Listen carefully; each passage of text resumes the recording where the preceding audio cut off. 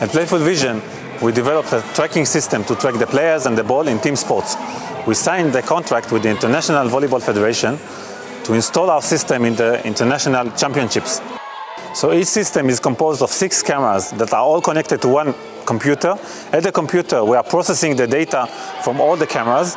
From this information, we can extract the speed of the player, the speed of the ball when it strikes, the height of the player, the height of the ball above the net, and other useful information.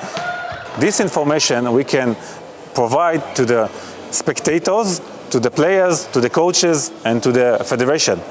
And they can use this information in real time during the event itself and afterwards for improving the training and to archive it as well. For training, we could track our players on the court um, and check their technique to see if they're moving the right way. And also during our matches, it would be great to see if they're moving the right way against our teams. Also check to see if they're reacting very well to the speed of the ball, to the speed of the spike or the serve. In the next level, we are going to use GoPro camera. So small cameras that are able to track exactly the same results with not so much installation.